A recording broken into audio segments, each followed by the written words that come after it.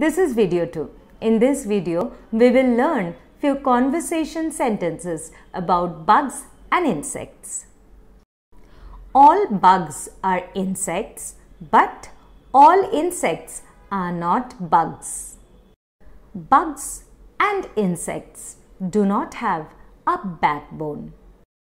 They use antenna to smell and feel because they don't have nose and hands.